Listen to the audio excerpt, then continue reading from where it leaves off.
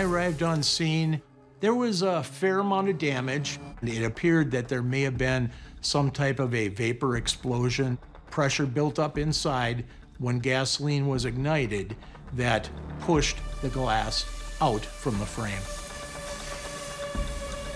There was a bedroom that had some fire damage, and in that area was where there was a red plastic gasoline container that seemed extremely out of place. Some of these things just didn't seem normal for a regular fire. Once we looked inside, we found out that there was a body of a female and there was a mattress on top of her. After removing some debris, it was noticed that her hands were in fact bound with what appeared to be duct tape.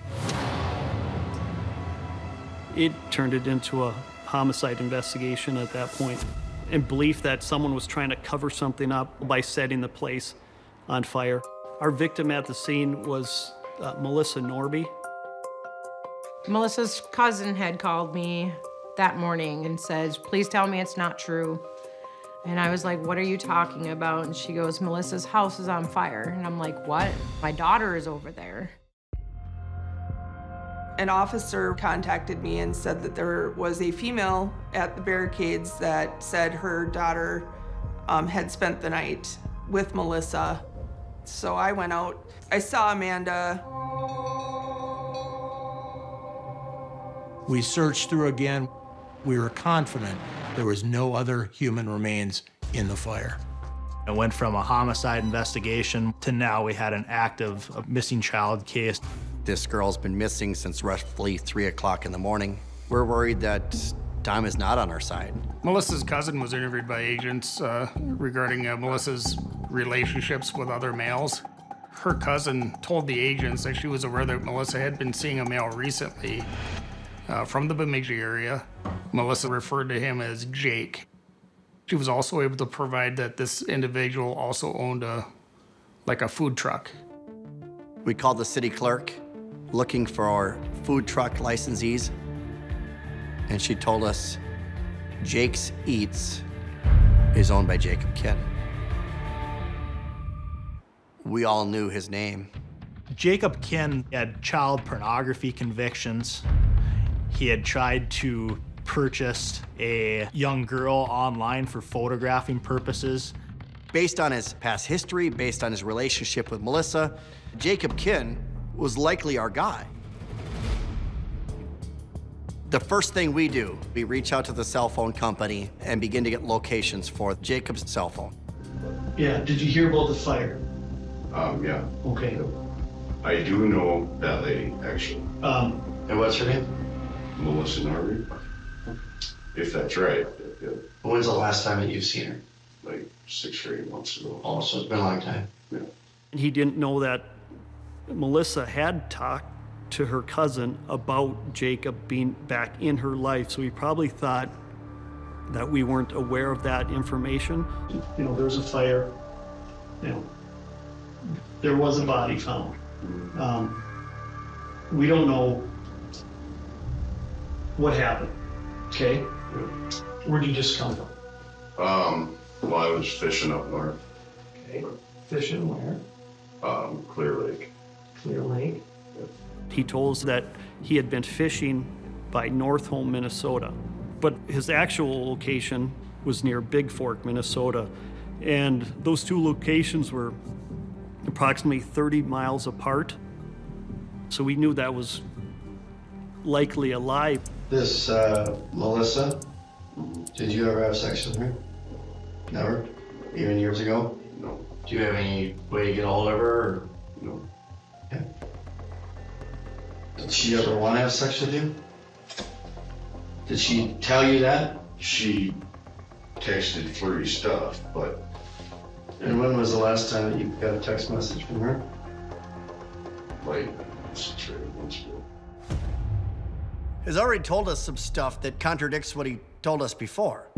I didn't have a way to get a hold of her, but she's flirty in her text messages? Jake, we got reports that you had a relationship with Melissa. There was never actually a relationship. Um, which is what I already said. You're late. Basically, Jake, your cell phone doesn't put you in that spot tonight. When Jacob Kennedy showed up at the sheriff's department, we observed right away that his boots were wet, his pants were wet. We walked outside and took a look at his vehicle and saw flower material and weeds. So it looked like he'd been driving off of the road. Jacob parked right in front of the law enforcement center. His vehicle looked like it had been driving out in a field, certainly not to a resort to go fishing like he said he was. This gas can, have you seen this before? Look familiar? No. Well, it's familiar. I own a few gas cans. You own one like that? I own one like it and it's at my house. That gas can was found at the arson site. Okay. He probably thought the gas can went up in the fire and was surprised that there was actually a gas stand fully intact still at the at the fire scene. The entire focus of our evening is this little girl. Yeah. I didn't do anything to the little girl. I haven't seen the little girl. I haven't seen Melissa in a long time. I haven't done anything. Part of the problem with the data that we got from the cell phone was it landed out in the middle of a very rural area in Big Fork. We took the latitude and longitude coordinates provided by the uh, Verizon telephone company. We were able to map those coordinates, and it put the uh, cell phone in, as to possibly being 5.2 miles northeast of the cell phone tower in Big Fork, Minnesota. We found a property listed to a relative, but Jacob, that was right in alignment with where that phone ping showed up at. We were looking for any spots where a vehicle might have pulled off or turned around. It had rained the night before, and as we're driving up to the intersection of Township Road 288, which is a dirt road, heading west off of the paved two lane road that we were driving on, we could see a, a set of vehicle tracks. To us, it looked like the tire tracks were very similar to uh, Jacob Kinn's tracks on his Jeep that we had looked at previously. We got to the uh, west end of the township road and saw that the tire tracks had coming out of a, a field road that also proceeded west and down a hill and uh, into a low area. We parked the squad and uh, proceeded on foot.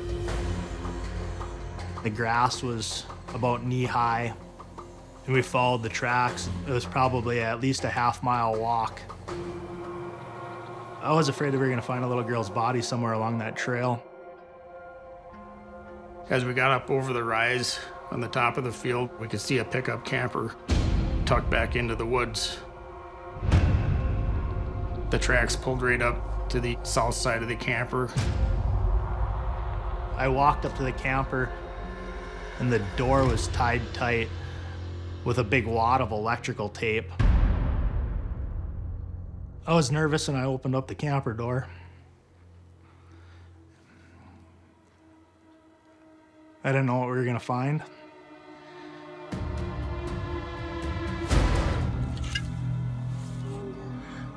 Hi, what did you say your name was again? I'm gonna take a little video. How'd you get here? His friend got me here. Don was right next to me. Turn on your cell phone, he said. We didn't have body cameras and stuff at the time. Okay, you don't have to be scared, okay? We're the police. I saw a little girl sitting on a bed. Looked like she had just woke up. My name's Rob and this is Don. How old are you? Probably five or something. Finding that little girl alive, I, I don't know if words can describe it. 6:15 a.m. is when I got the call from Don. He said, "We have her." I said, "Alive?" He said, "Alive." How, what went through your mind at that at that moment? That was fantastic. Never would have believed. Do you remember what Missy's friend looked like? What kind of car does he have? Wait, and it has a name on it. She told us all these little bits of describing information that described Jacob Kinn to us. What does he look like? He has a beard. You go there for her or for Melissa? It was for Melissa, but it was. Did you know that she was going to be there? Yeah.